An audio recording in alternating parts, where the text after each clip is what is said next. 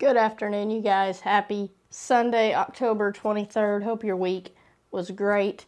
Um, we actually got some cold here in Oklahoma. Um, it actually felt kind of like winter for a few days, um, but now we're really windy.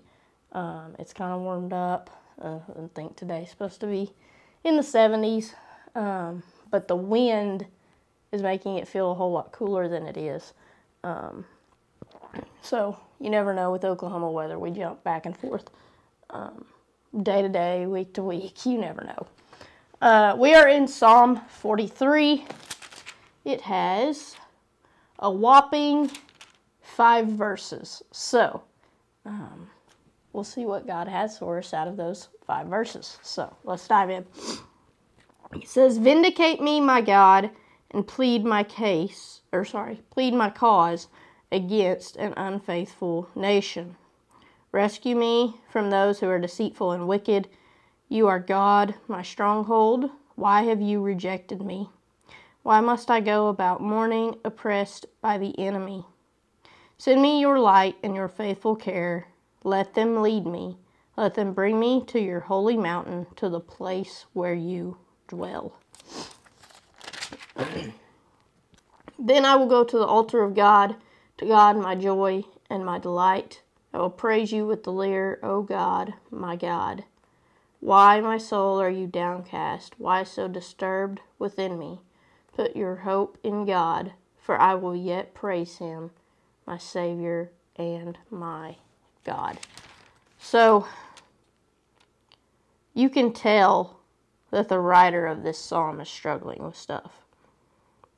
Plead my cause, rescue me.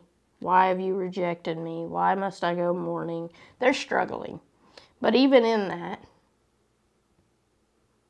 they say, God, you are my stronghold. I'll go to the altar of God, my joy and my delight. I will praise Him. Put your hope in God. They are struggling, but yet they still have faith in God and know that He is good and that He is with them and that He is faithful to rescue them every time. It's amazing how when we struggle, we either we do two, one of two things. When we struggle, we either run to God more or we try and do it on our own. So then that means in the good times, do we feel like we have it all together or do we go to God? If we're going to go to God and trust Him when we're struggling, we got to trust Him when everything is good as well. And we have to go to God when everything is good as well.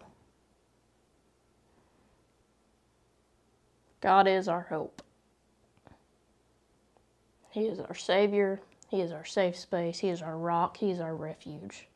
And He is with us every single step of the way. Everyone have a great Sunday. Have a great start to your week.